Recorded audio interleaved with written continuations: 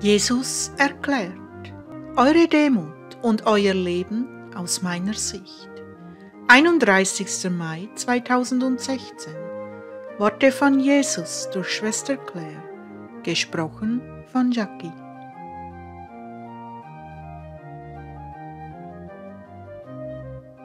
Claire begann.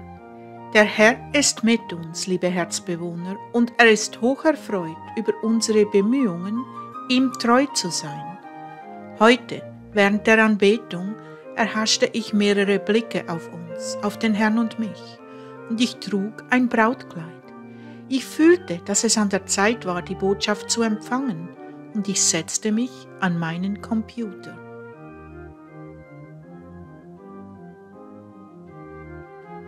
Ich bin hier, Herr. Danke, dass du uns beschützt und durch diese letzten Tage oder sollte ich sagen durch diese letzte Woche gebracht hast. Es war schwer, aber du hast uns durchgebracht. Bitte Herr, fülle uns bis zum Überfließen mit deiner Liebe und Weisheit an. Jesus begann. Ich bin hier, Claire. Jene Zeit, in der wir getanzt haben, war so süß. Ich vermisse diese gemeinsamen Zeiten. Würdest du mir bitte mehr Zeit widmen?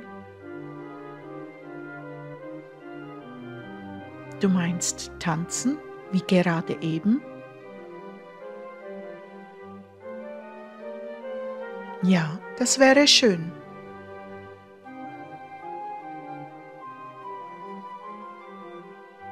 Ich kehrte also in die Anbetung zurück und konnte mich wieder in meinem Hochzeitskleid sehen und ihn in einem schwarzen Smoking, während er anmutig mit mir über den polierten Boden des Ballsaals rauschte. Er war so königlich und selbstsicher, während er meine Schritte lenkte. Ich konnte einfach nur staunen. O Jesus, wie schön es ist, dir nahe zu sein, deinem Herzen und deinen Gedanken, wie gesegnet ich doch bin.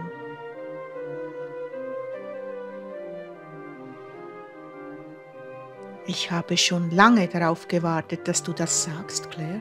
Du bist in der Tat gesegnet und ich weiß, dass du das ernst nimmst. Aber können wir noch ein bisschen Spaß haben und weiter tanzen?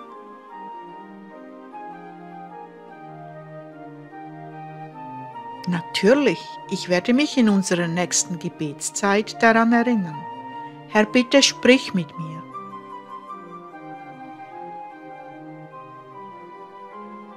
Ich bin so zufrieden mit dir, Claire. Du hast meine Anweisungen befolgt. Du hast meine Bedürfnisse erahnt und das getan, was deine Aufgabe war. Es ist nur noch wenig Zeit übrig und ich weiß, dass du das nicht für einen Moment glaubst. Was an der Oberfläche so friedlich aussieht, ist trügerisch.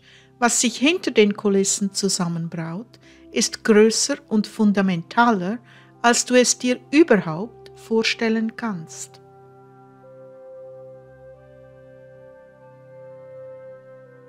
Von heute auf morgen wird sich diese Welt verändern, aber in der Zwischenzeit, während wir in diesem Zeitfenster der Gnade voranschreiten, rufe ich all meine Bräute auf, die kleinen Dinge mit Liebe zu tun.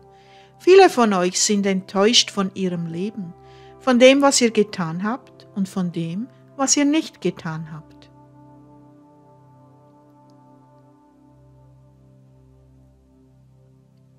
Ihr vergleicht euch mit berühmten Menschen und mit jenen um euch herum, die Errungenschaften und weltliche Erfolge erzielt haben. Und dann kommt ihr ins stille Kämmerlein, denunziert euch selbst und seht euch als Versager. Ihr seht nicht, was ich sehe. Ihr seht nicht die Werke, die aus persönlichen Interessen und nicht aus Liebe getan werden. Eine kleine Tat, die in Liebe für euer Nächstes getan wurde, übertrifft Tausende von Taten, die zum persönlichen Vorteil getan wurden. Versteht ihr? Bald werden all diese Werke, die mit einem falschen Motiv getan wurden, 99 Prozent von dem, was die Medien gutheißen und zu einem großen Thema machen, völlig wertlos sein und im Feuer verbrannt werden. wenn alle Dinge in meiner Waage gewogen werden, wenn die eigentliche Substanz der Dinge geprüft wird, die Motive, die Ergebnisse, all das, was jetzt in der Welt hochgelobt wird, wird sich in Dunst auflösen.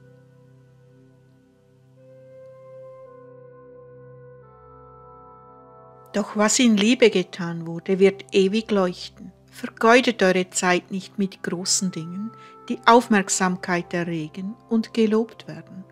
Eure kleinen Dinge, die in Liebe getan wurden, sind es, aus denen der wahre Sinn dieses Lebens besteht. Zu viele von euch verzweifeln jetzt ob ihrem verschwendeten Leben. Doch die wichtigste Zeit wurde im Verborgenen verbracht, im Gebet und in einer Art zu dienen, die die Welt als untergeordnet und unwichtig erachtet. Doch dies sind die Kennzeichen meiner Könige und Königinnen in meinem Königreich. Dies sind die Qualitäten, die euch qualifizieren, im tausendjährigen Reich zu regieren. Ihr habt die Wahl getroffen, viele Jahre lang das Richtige zu tun, und das hat euch einen Ort in der Anonymität eingebracht, welcher der sicherste Ort auf dieser Erde ist. Alles, was aus einem reinen Motiv heraus getan wird, wird Bestand haben. Alles, was in Eitelkeit und Prahlerei getan wird, wird fallen. So einfach ist das. Und nur um sicher zu gehen, habe ich Prahlerei, Eitelkeit nachgeschlagen. Es bedeutet übermäßiger Stolz auf sich selbst oder die eigenen Leistungen, übermäßige Eitelkeit.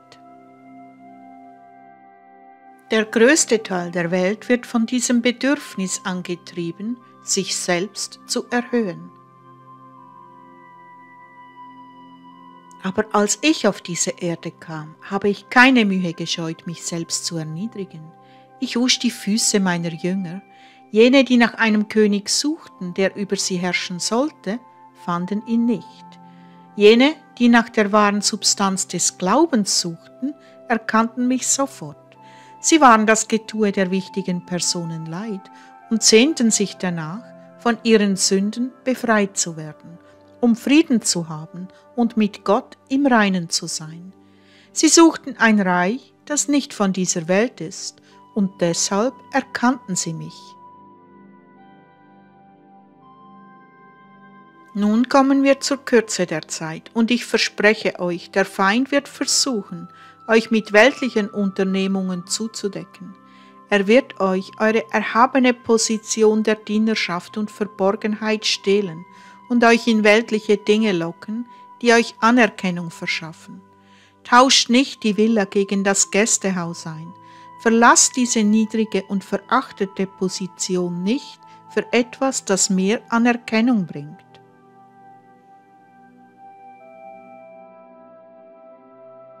Viele suchen nach Wegen, mir zu gefallen. Habe ich euch nicht gesagt, dass ihr euer Nächstes lieben sollt, wie ihr mich liebt, und dass ihr das ununterbrochen tun sollt? Aber der Feind möchte, dass ihr wegläuft und euer Nächstes in der Not zurücklasst, während ihr etwas verfolgt, das wichtiger und größer erscheint. Während die Uhr tickt und die Welt am seidenen Faden hängt, ist das Produktivste, was ihr tun könnt, euer Nächstes zu lieben, wie ihr euch selbst liebt, von Augenblick zu Augenblick. Tut die kleinen Dinge mit viel Liebe und seid sehr misstrauisch gegenüber einem größeren Vorhaben, das euch überfordern und erschöpfen wird, und ihr zu beschäftigt seid für das Gebet und ärgerlich aufgrund von Unterbrechungen, welches kleine Gelegenheiten sein könnten, eurem Nächsten meine Liebe zu zeigen.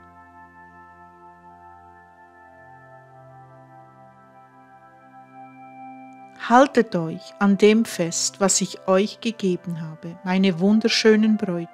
Jeden Tag wird euer Kleid immer reiner. Wahrlich, ihr habt euer Bestes gegeben, um mir treu zu sein, und ich habe große Freude an eurer Herzenshaltung. Denkt in jener Stunde daran, ich bin direkt an eurer Seite und ihr werdet nichts zu befürchten haben.